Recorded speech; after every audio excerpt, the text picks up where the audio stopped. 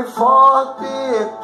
Nosso faccionista pode dizer que tem sorte por ter Totó Cláudio à frente no Rio Grande do Norte.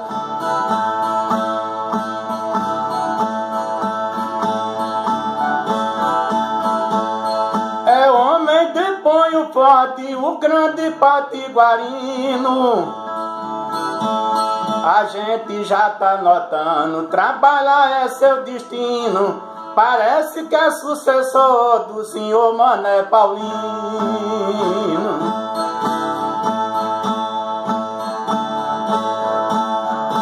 Não tem um jeito granfino, apesar das condições.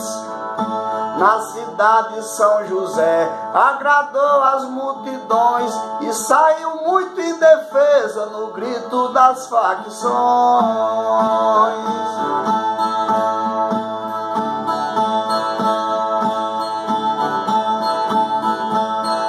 Esse homem é um dos bons, toda vida faz assim. Defende os faccionistas, o seu esforço é sem fim. Desse nosso Siridó a começar de jardim. A cidade de Jardim está concentrada nele. O povo do Rio Grande com certeza gosta dele. E mais de dois mil costureiros bateram palmas pra ele.